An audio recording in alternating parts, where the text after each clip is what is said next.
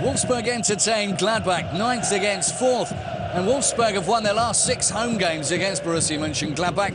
Gladbach have not won here since November 2003. There's never been a fourth place team with so many points after 19 match days as Borussia Mönchengladbach. But Felix Magath, well, he's never lost a home game against Borussia in seven wins and four draws time.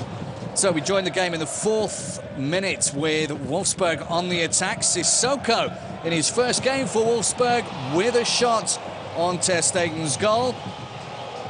Felix Magath's now had 36 players play for him this season. That's a new Bundesliga record, even by Felix Magath standards. He held the previous record, of course, 35 at Frankfurt.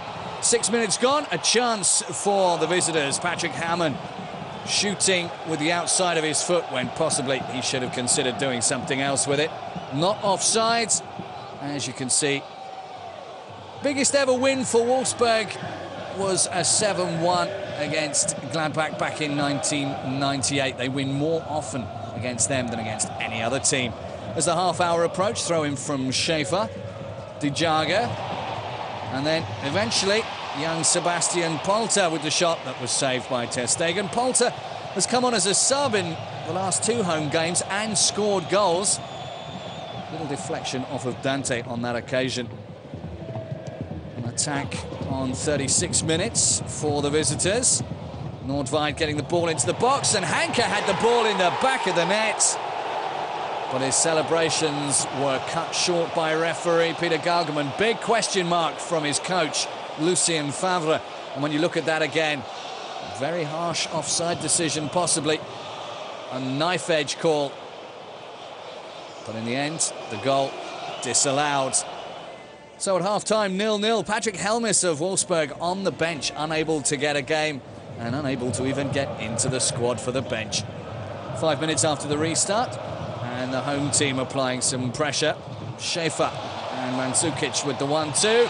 And once again, Polter arriving, but just a fraction too late to make good on that cross. A lucky escape for Mönchengladbach then. Three minutes later, corner Ashkan Dejagah. Big men up from the back. One of them, Felipe Lopes with the header. Just over the crossbar. Agonisingly close for the home team. Never ended goalless in all the 23 previous Bundesliga games between these two teams. That was the closest so far that one of the teams had come to breaking the deadlock. Just a minute later, Dante to Nordtveit. Josue intercepts the pass. The Brazilian gets the shot away, but extremely good save by Marc-Andre Ter Stegen. Looks even better from behind the goal. Saving the defensive blushes of his teammates.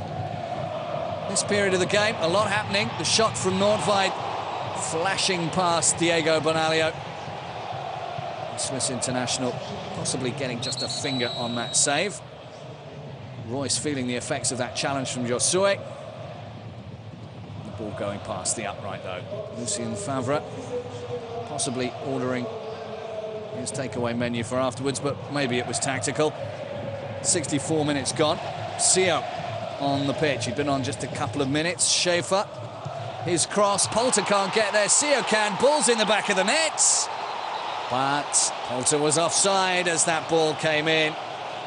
And the replay shows quite clearly there's daylight between him and Dante. And the flag up. Goal ruled out.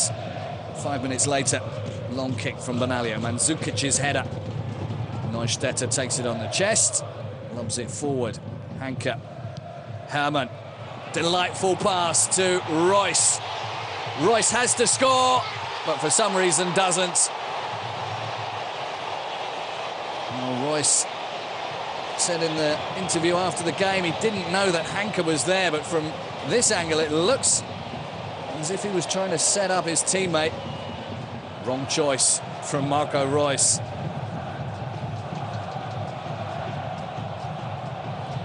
Hands on head.